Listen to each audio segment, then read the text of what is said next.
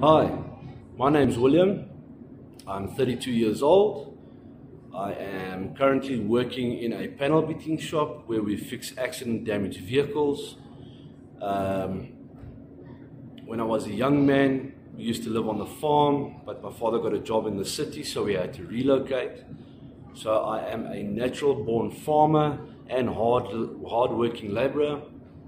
Where I lack in experience, I will most definitely make it up with my willingness to learn quickly and to work hard to accomplish what I need to know in order to achieve my goals.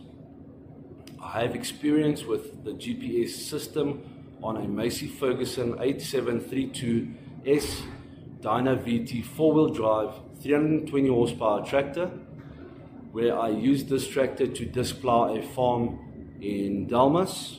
Also used it to hitch different uh, implements um, I am a natural at problem solving.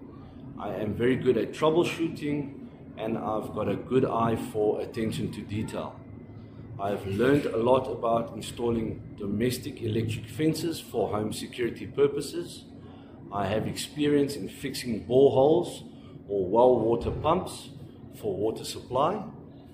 I also do have experience in domestic irrigation, sprinkler systems, where I had to install all the pipes, all the fittings, and I had to make sure that there were no leaks on the systems. I know how to use power tools like drills, grinders, and arc welders. Um, I am good at building stuff, good at innovating um, ideas for um, solutions. I would jump at the opportunity to be able to work in America it would be an honor for me to take my knowledge to the next level and to learn as much as possible from you guys in order to be, to come back year after year and to be a loyal worker, loyal, hard-working uh, worker.